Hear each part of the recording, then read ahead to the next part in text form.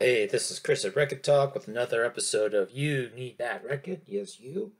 Yes, you. And you. And you. And the record you need today is legendary Shack Shakers, Cockledoodledeaux. Look, it's on limited color vinyl. Let's see what color the vinyl is. Well, there's your label. Look, it's on alternative tentacles. Look at that cool looking label. And it's on Oh, and it's different color on the other side. And it's blue vinyl. Very pretty.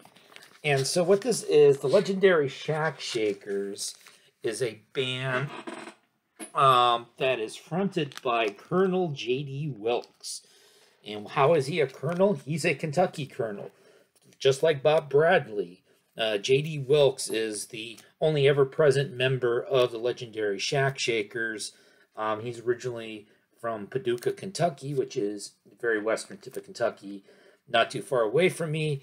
They've kind of merged from being, they were kind of a punk psychobilly band 20 ish years ago. They're more now described as like twisted bluegrass. So there's definitely your punk alternative elements, but there's your uh, bluegrass country music elements. And this record, um, and here's the insert of it. Um, as you can see, former Shack Shakers appearing on this album. So a lot of the members over the past 20, 25 years have come back.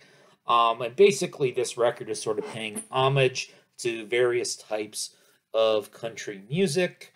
Um, so there are two covers on this. Uh, the very first song is a cover of uh, the legendary song Rawhide. And of course, to be a little bit twisted, who do we have singing backup vocals on Rawhide? Why, it's Jello Biafra from the Dead Kennedys. We have guests from places like the Lester Flatt Band, Emmylou Harris's band, and the Paducah Symphony Orchestra. Um, so all kinds of stuff going on there.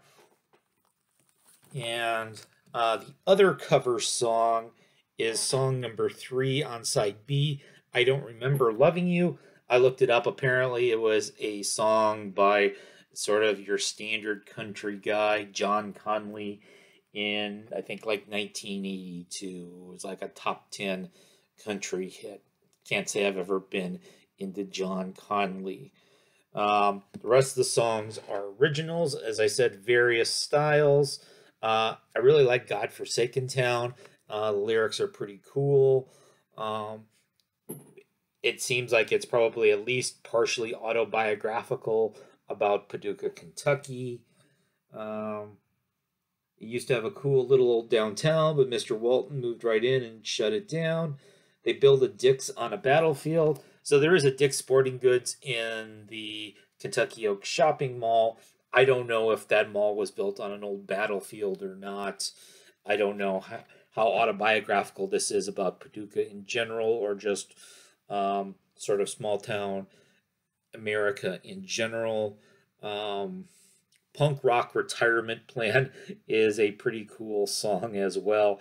Sort of your mix of sort of being an aging punker on the countryish side of punk. Um, and so I think this is, um, and the name Cockledoodledeaux came from their early album, 2002, is called Cockadoodle Don't. Um, and they've had several other albums since then.